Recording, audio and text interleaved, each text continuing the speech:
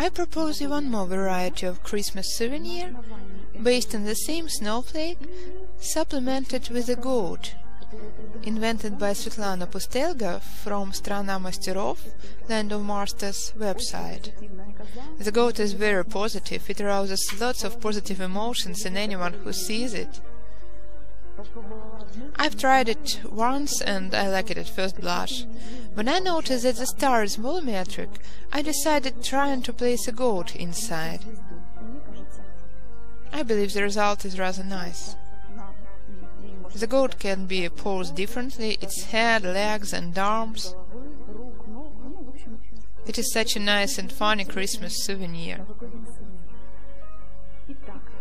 So, we've gotten to know how to make a decoupaged star.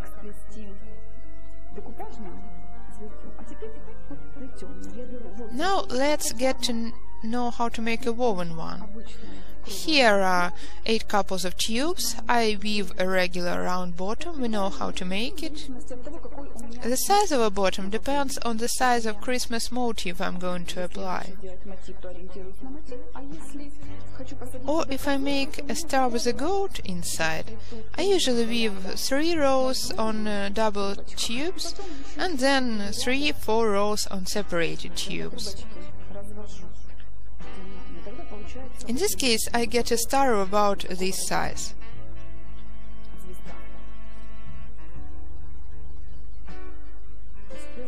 So I've woven three rows, now let's divide pairs of tubes into separate single tubes.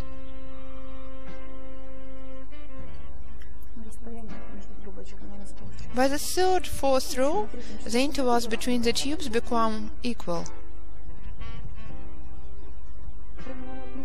Tried using single tubes instead of doubled ones, but by the third, fourth, especially fifth row, the intervals between the tubes become too big and the article doesn't look neat enough. That's why I've decided not to save the tubes, but to weave on double tubes. Afterwards we will cut every other tube.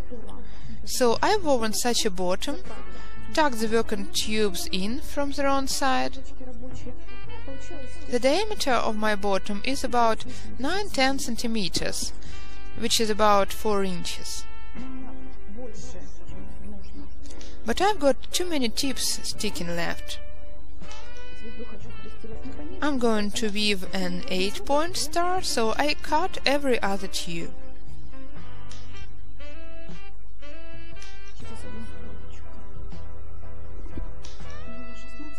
There used to be 16 poles, 16 tubes, now there are 8 left. I get rid of these excessive tubes as well, otherwise they would interfere. That's all. We've got 8 beams. Now, I mark a point at about an inch, two and a half centimeters from the bottom and bend the tubes. I don't draw any dots, just bend.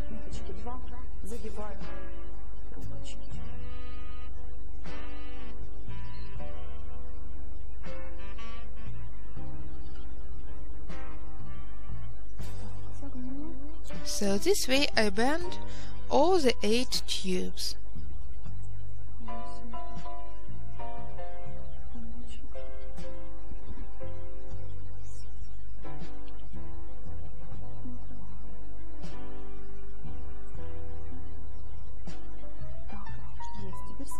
Now look, this is the wrong side, that is the front one. Turn towards the wrong side. Well, actually I could bend the tubes towards the wrong side from the beginning, but anyway.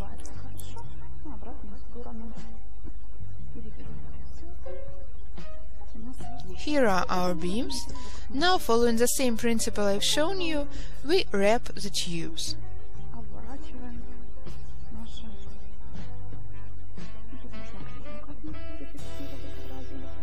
Here you can drop some glue to fix the working tube at once to prevent it from sliding, which will make the process easier. Here is a subtle nuance. If you need a more volumetric article, as for example for a candlestick, by the way, here is one more Christmas souvenir candlestick, then, while wrapping the tubes round, I lift them a little, like this.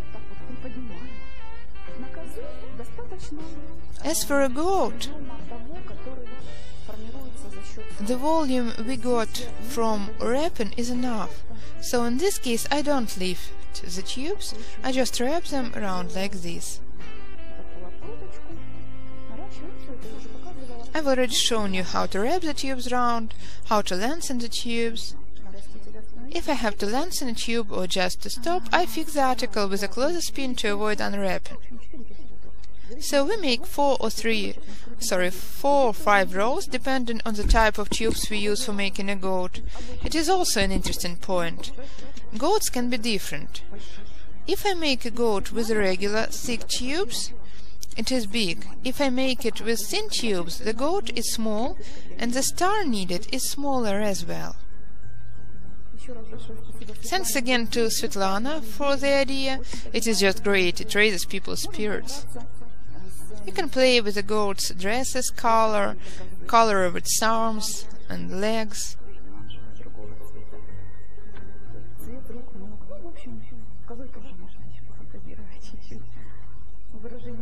Anyways, the expression of uh, the goat's face is always positive. Then we hang the stars on a rope and get such a nice Christmas decoration. In the same way we weave a candlestick. It consists of six or seven rows.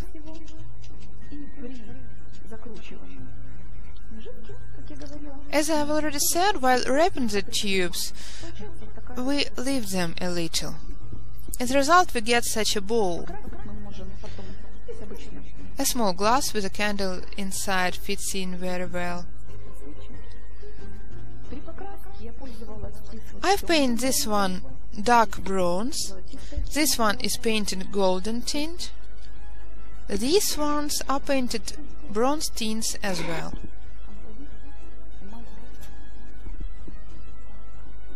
These paints have been used composite acrylic enamel, metallic, so we can choose blue, gold and silver, different tints of bronze.